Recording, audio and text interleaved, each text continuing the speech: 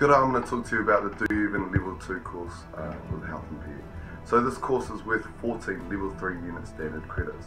The course is designed around uh, those that want to be physios, personal trainers, um, strength conditioning coaches, anything in that, that area. Um, the, the, assessments in this class are you are being assessed on your demonstration of correct technique and knowledge of uh, different exercises and muscle groups. Uh, and you also have to run a session for the class uh, that is designed and implemented by yourself. The vocational pathways include social and community services uh, and also service industry. Okay, our recommended entry, so it is um, expected that you do the level one do even course and submit all your work, um, but that can also be uh, decided by the HOD. Um, the course fees, there are a $30 course fees for this class. This covers your use of the armory uh, during class time and also any one-off uh, speakers or um, personal training sessions that we have in the class.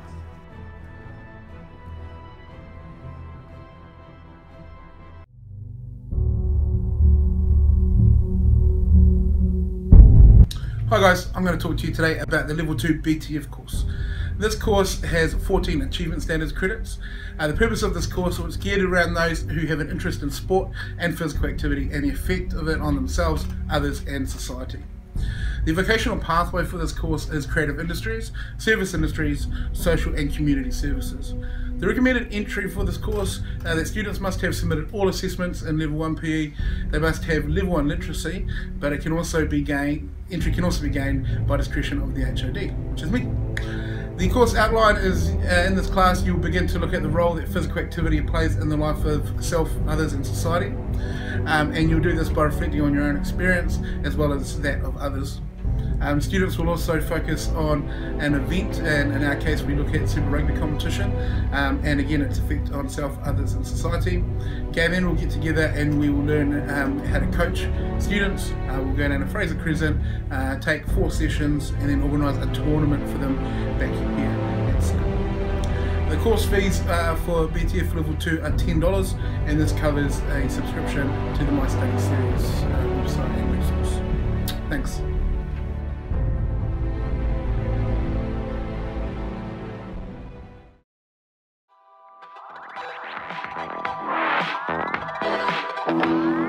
Uh, hey guys, just want to discuss uh, the level 2 um, BNS course. Uh, so the purpose of this course, uh, it's geared towards those who see uh, sport as an important part of their future, be that as a player, a coach, a PE teacher, through sport management, uh, as a trainer, or even in the field of video analysis. vocational pathways that come as a result of the course, it could be into creative industries, service industries, social and community services as well. So the recommended entry for the students uh, who would like to participate in the course, um, you must have submitted all your assessments in PE 101. Um, you must play an approved sport for the school or for a club. Uh, however, entry can be given as well by the head of department with a uh, strong recommendation. Okay, so the course outline. Uh, in this class you'll participate in a variety of practical sessions, but you'll be focusing primarily on your own sport. Uh, you'll be assessed on your ability in that chosen sport uh, it's a very, very practical year and you'll be looking at ways and techniques for you to improve in your given sport, not just by improving your fitness, but also increasing your knowledge of biophysical principles and then putting those into action. Um, you'll be assessed on level of social responsibility that you show throughout the year and the way that you interact with your peers. Basically, the course is structured um, that it's a $40 fee uh, but that gives you use of the Armory, guest speakers, uh, and subscription to My Study Series resource.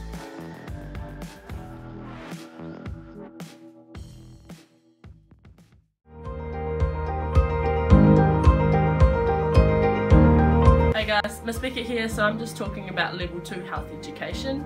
Um, so this course is based around well-being for others and it progresses on from Level 1, well-being for self. So key things with this, this course is geared towards those who are interested in working with others and developing interpersonal skills um, to be able to deal with different situations in their lives. So this is hugely relationship based and is the, the main focus is on well-being for others. Level 2 Health Education um, has a vocational pathway of social and community services, service industry and creative industry, industries. So it teaches great life skills and most of the stuff that we're dealing with in level 2 health is very scenario based and can relate to many different aspects of your life. Um, recommended entry so we do prefer if you have done level 1 health um, moving into this and have a basic understanding of hauora. Uh, the course outline so we'll focus on health issues. We'll have a look at adolescent health issues. We'll look a bit more at well-being um, actions needed to improve and enhance the well-being of others and look at things to improve your own personal health as well. There are no course fees for this subject so yeah get involved My name's Zach Humphrey. I do BNS, BTF and DU Even. I like doing PE at Heretaunga College because we have great facilities and good teachers to work with and we have great fun doing it. Hi, I'm Jess.